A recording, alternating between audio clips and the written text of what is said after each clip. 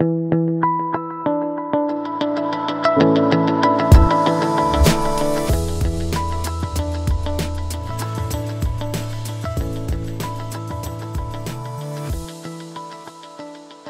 I would describe the culture at Intel Media as kind of like a startup, it, which is kind of weird. They're coming together to make something totally unique, and everyone's wearing a thousand hats, and it's not chaos like a normal startup. It's exciting, everything changes every day, and I get to learn a lot. I'm a senior interactive designer on the application team. Um, as the name might hint at, I design applications and also I work on the web.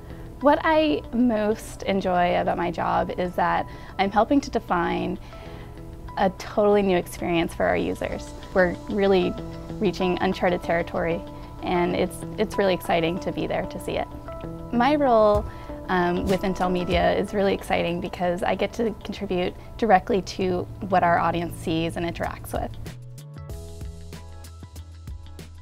Um, aside from, you know, being more than channel up, channel down for television, um, what makes it different is that it's truly catered to the individual.